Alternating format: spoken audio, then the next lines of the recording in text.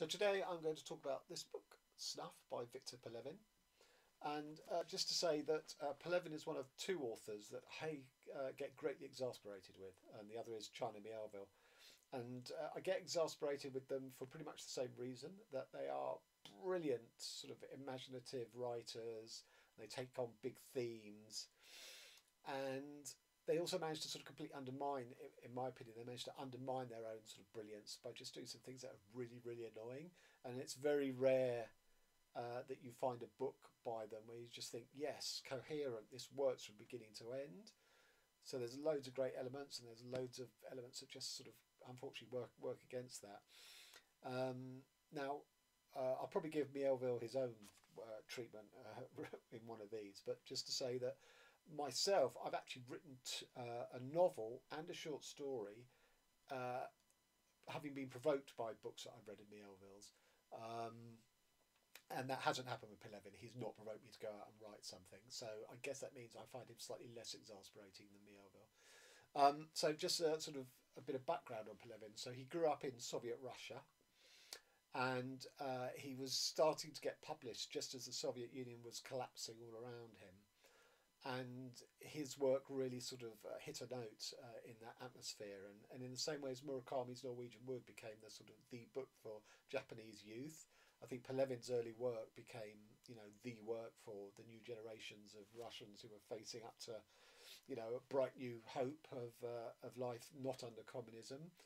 Um, I think there was a poll in the two thousands where you know Pelevin was was the number one intellectual uh, as voted for by by Russians, um, and he did sort of win literary awards. There is a, a Russian Booker Prize, uh, which I was completely unaware of, and makes you think, well, why do we never see in translation uh, the books that do that do win that, uh, other than Pelevin, who's one of the few translated writers we do see.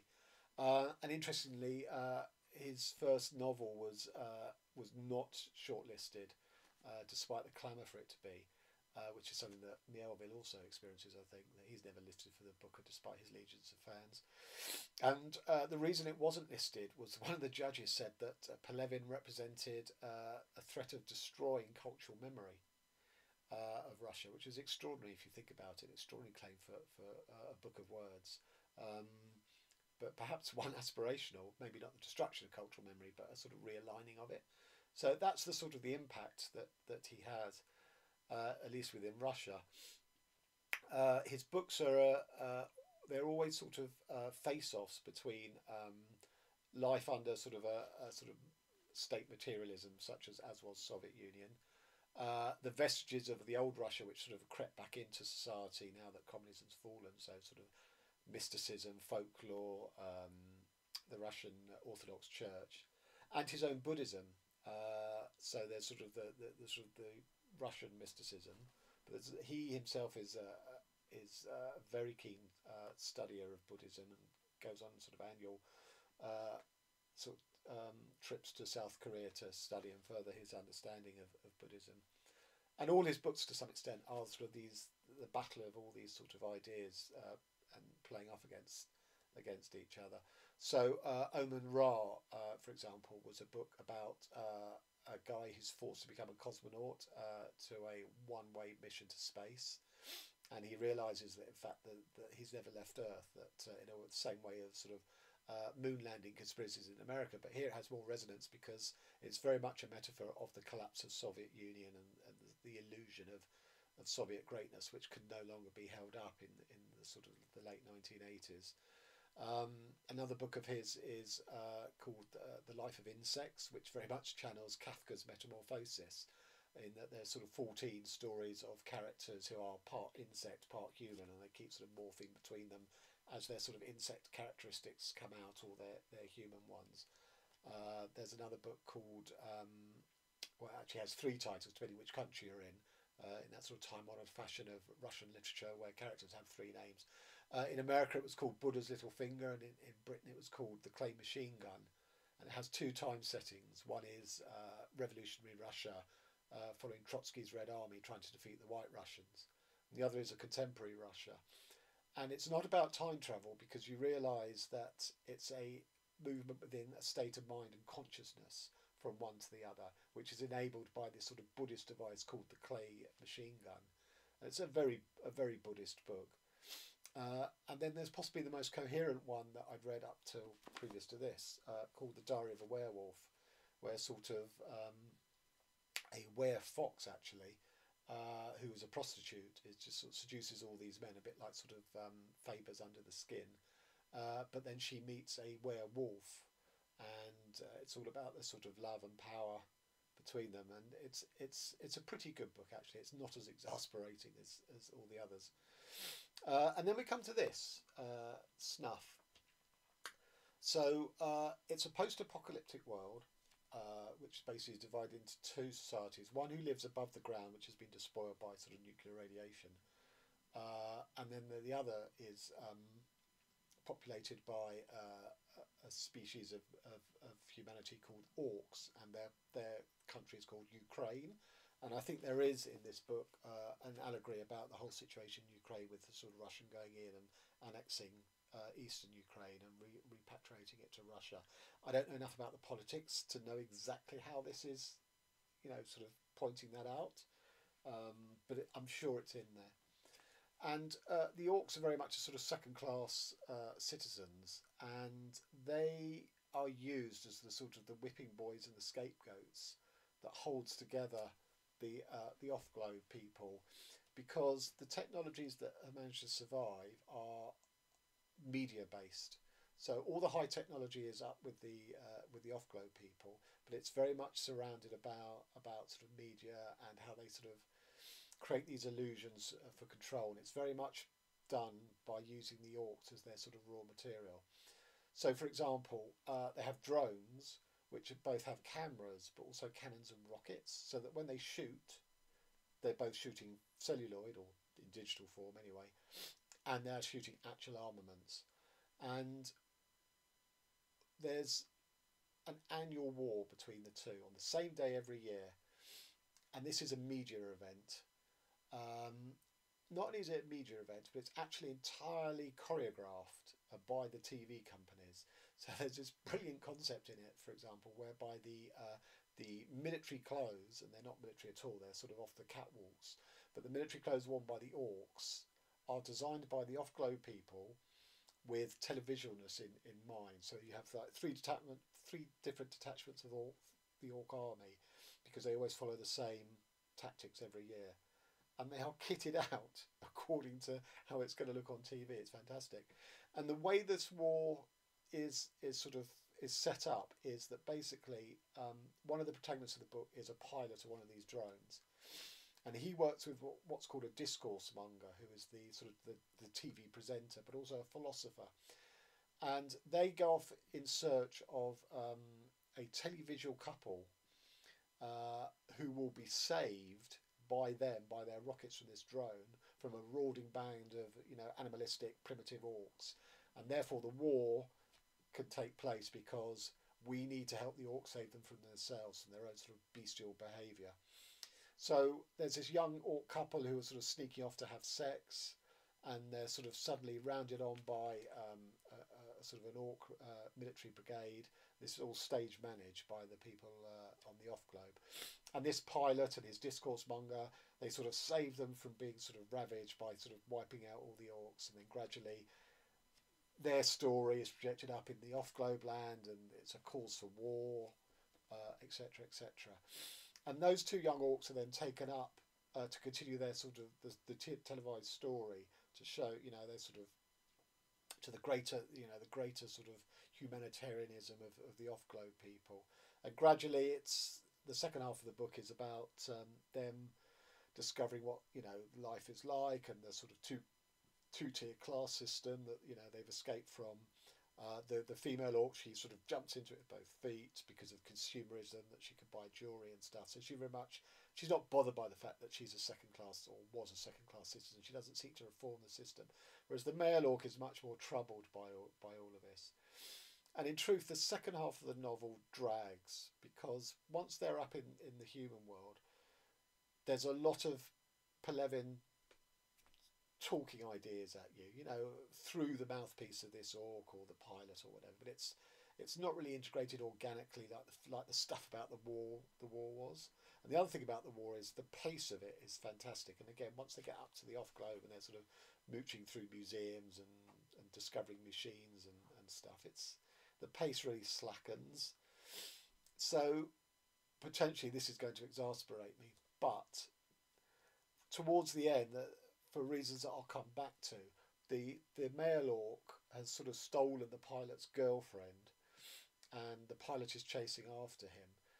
And it's all very, you know, it's very plotless, you know, sort of how the pilot gets to this point of realization, and then physically how he tracks the orc down, and then go, pursues him with the drone and all of this. And it's sort of quite plot, you know, plot plodding, and you think, oh, where all the great ideas are at the first half of the book. But the payoff, and I'm not going to spoil this for you, but the payoff is hilarious. The final moment, the final denouement, uh, is very, very funny, and you think, ah, okay, it was building up to this gag, really. Um, so not as exasperating as normal. Just about holds together as a book, I think.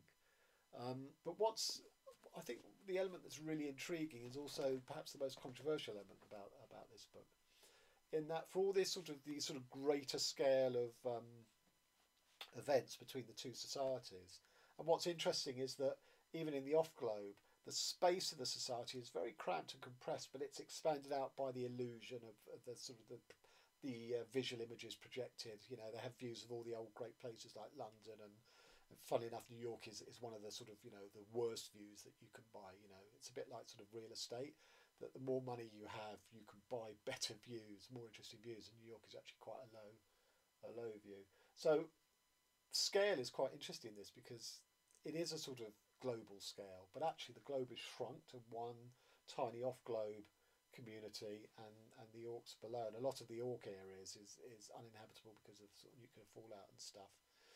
So ostensibly you're having these sort of these global events between the two societies, such as the war and its its aftermath and everything.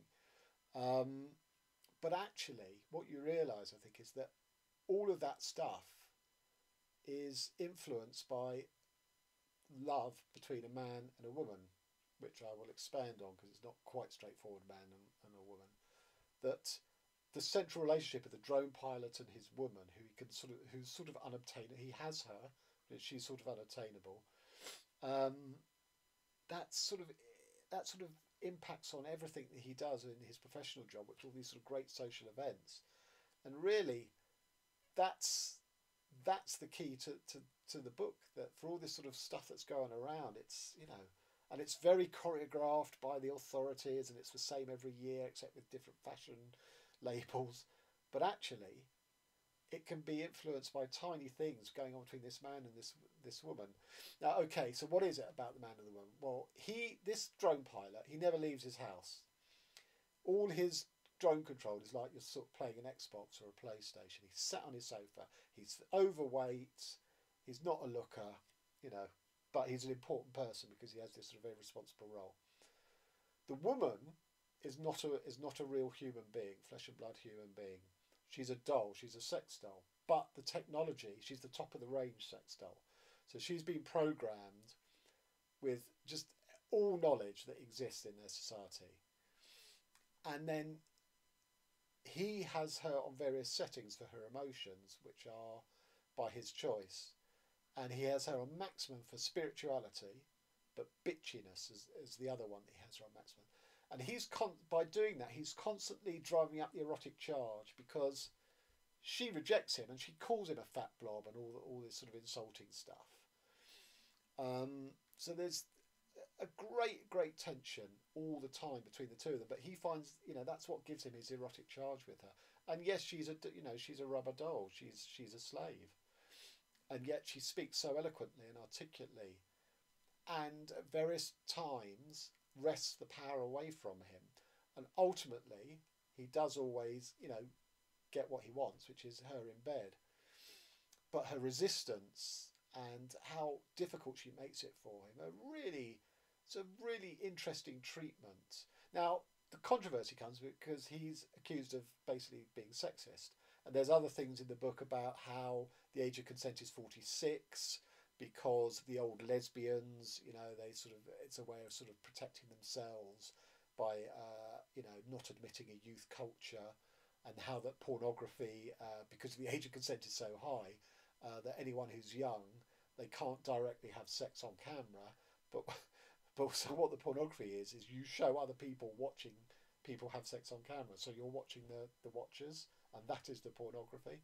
So there's again lots of brilliant ideas on that. So I think the first thing to say about this accusation of, of him being sexist is if you read Diary of a Werewolf, the woman, the the werefox, is absolutely the dominant character in that. You know, men, even though she sort of uh, has this partner who's a, a male were a werewolf, she is, you know, she is the leader and the driver of that book. So I don't think Pelevin is sexist. Yes, you could say the thrust of this book has a sexist angle, but I think, I think, the real interest of the book is is in the psychology of this this sex doll, because she's more intelligent, she's as manipulative because her settings have been set on maximum for bitchiness and spirituality, which sort of just got the mic over there, which work work against each other. Um, so the bitchiness, for example, is apart from sort of insulting him to his face and, and all of that. But gradually, she wants to make him jealous, and she picks the young orc uh, as if she wants to seduce him to make the male partner, the human male partner, jealous and there's a lot of interplay between between the, the, the two of them, and she has power an awful lot of time. Yes, he can switch her off and put her in sort of hold pause mode. So, I guess as I say, you could say he has the ultimate power, but in the end, she defeats him because, she, you know, he keeps saying, "What is there in her? She's not alive. She doesn't have a soul." What you know? What is it that sort of you know, how much of that thought that she comes out with that defeats him a lot, how much of that is, it can't all just be imitative programming. It can't all be algorithms, you know, what is it?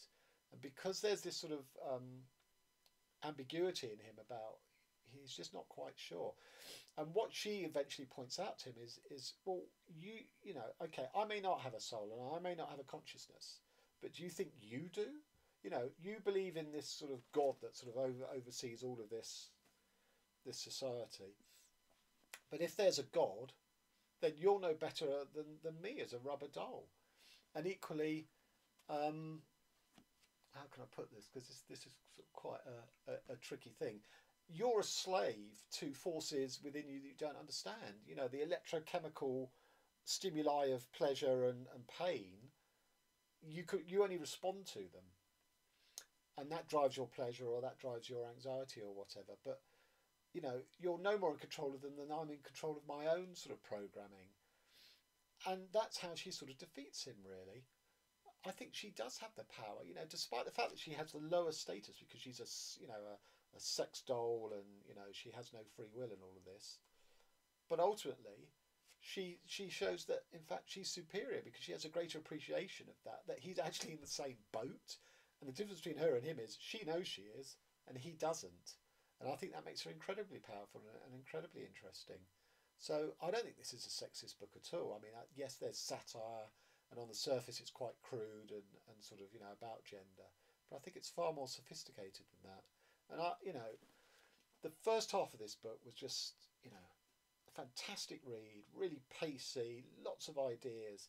You know, there's a, you know, and it, there's satirical elements. So, um, for example, uh, you know, there are because they've lost the records of history because of the the apocalypse, but they've got little bits, little scraps of it, and they sort of forge a new sort of orthodoxy out of that. So some of the names of, of the characters, uh, David Goliath Arafat Zuckerberger is, is one character. So brilliantly bringing forward, you know, Zuckerberg, who's of course Mr. Facebook, uh, and Yasser Arafat, who of course, you know, PLO and, and you know, the Jew Palestinian thing there uh, David Goliath as part of his name because of the, the, the, the, asymmetrical nature of, of their struggle. Or there's another one here, um, Nicholas Olivier Lawrence von Trier. So there you got, you know, Lars von Trier, who was, uh, who is a sort of, you know, quite an avant-garde filmmaker, and sort of Laurence Olivier, who sort of represents um, sort of the classical acting. Um, there's uh, the, the the head of the Orcs, who's called the Kagan, Uh, their names are well, first of all, they're chosen by the off globe people, but their names, you know, one is called Torn Durex, and his replacement is called Torn Trojan. There's a lot of quite witty, funny stuff uh, like that in here. So all of that stuff carried you through the first half, really. And it's a bit disappointing in a way where a lot of that stuff falls off in the second half, that he's not producing that many new, sort of quite funny things, and but he is still throwing the ideas at you. You know, the the dialogues between the sex doll and the and the pilot, and also the slightly less interesting, I think, ones of the orcs discovering things about the world which reflect back on their own sort of second class position. But this, you know, I highly rec- recommend it. As I say, for Pelevin, for me, it all comes together in this book in a way that it doesn't in others of his books.